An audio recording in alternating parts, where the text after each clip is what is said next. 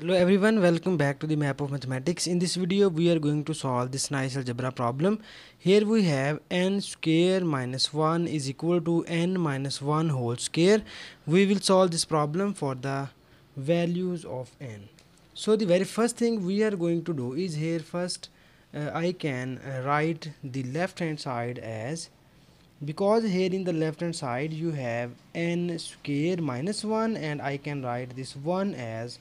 1 squared and we move this uh, the term in the right hand side in the left hand side and it will become negative and we get n minus 1 whole square is equals to 0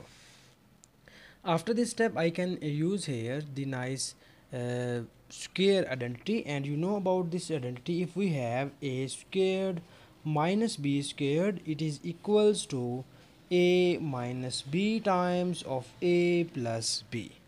So now I can apply here this formula in the first term uh, so that you get the output in the form of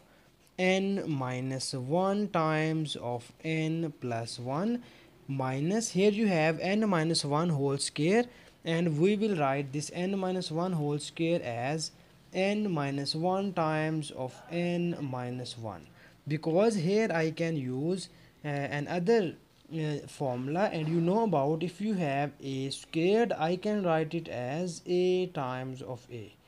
So I can use here this formula uh, in the second term so that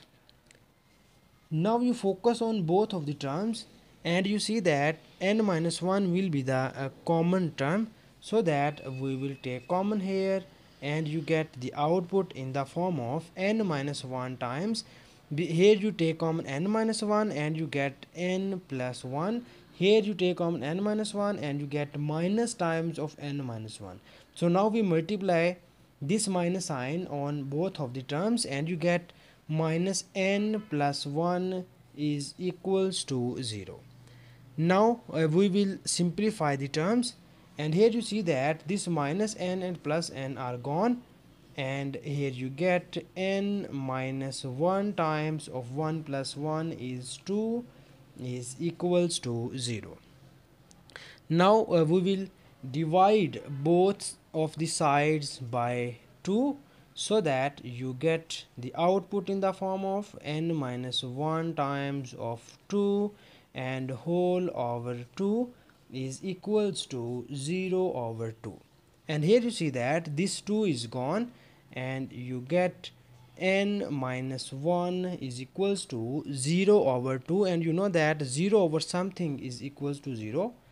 and now you move this minus 1 in the right hand side. And finally you get the value of n is 1 so this is the our uh, final answer of this question. And now we check this answer is n is equals to 1 satisfies the given question or not so that our given question statement is n squared minus 1 is equals to n minus 1 whole squared. So here you put n is equals to 1 and you check its output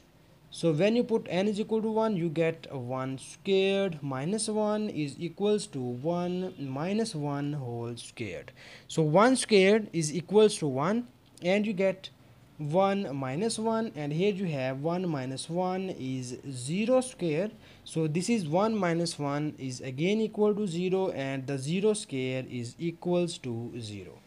so this shows that n is equals to 1 satisfies the given uh, equation